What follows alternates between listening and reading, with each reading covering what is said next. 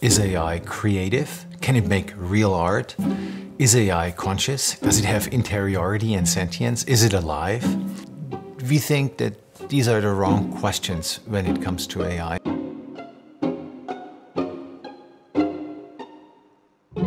If we ask the questions we currently ask, it's a little bit as if we address the new in terms of the old. Asking better questions would mean to address AI in terms of its newness, to learn to think the new in terms of the new. And what I observe is that many people, when they're confronted with that question or with that possibility, have a, a slight hesitation, almost a resistance. And what I find fascinating is, like I often say, that we humans live by conceptual assumptions, by little conceptual presuppositions that, that we're mostly not aware of. Well, here, here AI has the power to bring out one of these conceptual assumptions. Most humans take it for granted that we can have something, that we humans can have something that machines cannot have creativity. We can be creative and machines cannot. Once one sees such a conceptual assumption, one can turn to the history of thought and basically ask, when did this assumption first surface? Why did it surface? What were the ideas that led to it? And then we can ask calmly, what does AI do to, these, to the ideas that led to this, to this conceptual configuration?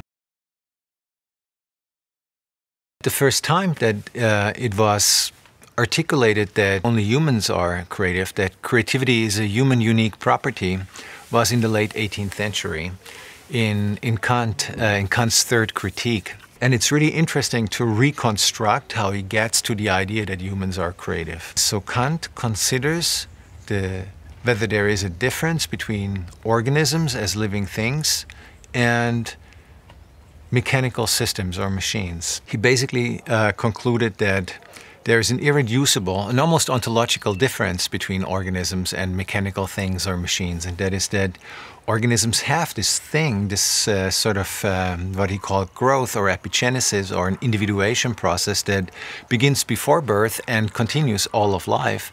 Various machines, once they're built, are kind of finished, they're done, they're sort of closed wholes. Because organisms are living things, there is an irreducible openness that continues to unfold in a sort of playful variation uh, throughout life, versus machines are closed systems. And in the third critique, the critique of judgment, he returns to that distinction. And he says, well, it appears as though there is one kind of organism, humans, in which this openness and playfulness of nature is combined with the sort of inner openness um, that reason provides humans with. And, and in that inner openness, the playfulness of nature, the openness of living nature, and the, the openness of reason combine and gives rise to the possibility of inventing forms that do not yet exist in the world, a sort of playful invention of forms that do not yet exist in nature. And he called that creativity, which was uh, historically the first the first um, time that somebody, at least in the West, suggested that humans are creative. Um, before it was uh, always assumed that only the gods are creative. The power of AI, or the power of the possibility that AI could be creative, is that it that it makes this conceptual configuration, the history of this conceptual configuration, visible for us.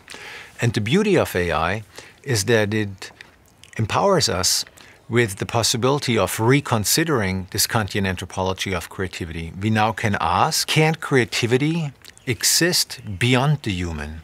Yes or no? Each time I'm trying to ask this question, I come up with the following. Creativity is a process.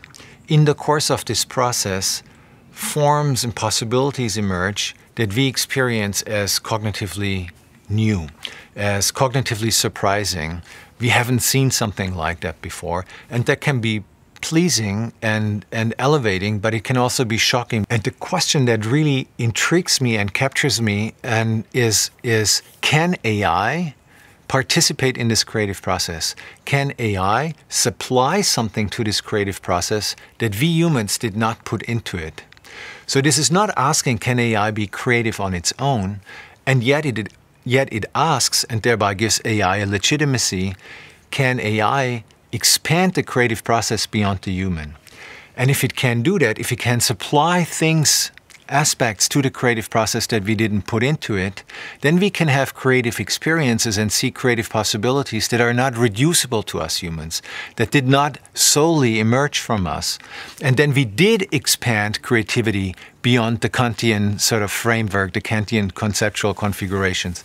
And that's a powerful philosophical event.